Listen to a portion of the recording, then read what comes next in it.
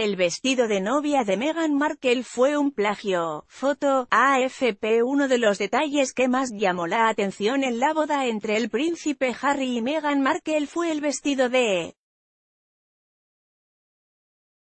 novia, y aunque la opinión de los usuarios de redes sociales se dividió entre quienes amaron el vestido y entre los que expresaron que le quedaba grande, ahora el vestido vuelve a dar de qué hablar.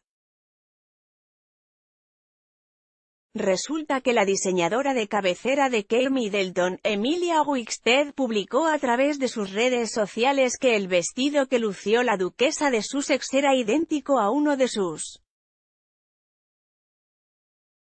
diseños bajo el nombre de Elena, Foto, Inmediatamente los usuarios de las redes sociales no tardaron en comparar el vestido elaborado por Claire White Keller de la casa Givenchy con el de Emilia. Incluso, la cuenta de Instagram de Diet Prada también comparó la pieza con escote barco, manga a tres cuartos y estilo simple con otros diseños antiguos de Givenchy del año de 1967, después de la polémica creada en redes sociales y las diversas opiniones de los amantes de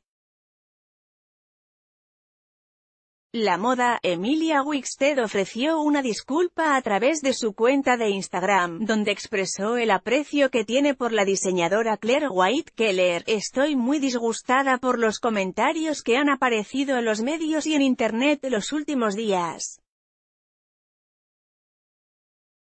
Su Alteza Real, la Duquesa de Sussex, lució absolutamente preciosa el día de su boda y tengo un profundo respeto por ella. No creo que su vestido de novia fuera una copia de uno de los nuestros. Además, siento el mayor de los respetos por Claire White Keller y la casa Givenchy, una de mis mayores fuentes de inspiración.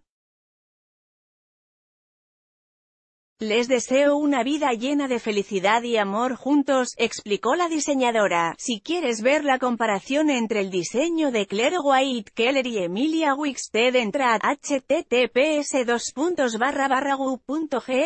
mzrfb5 con información de El Universal.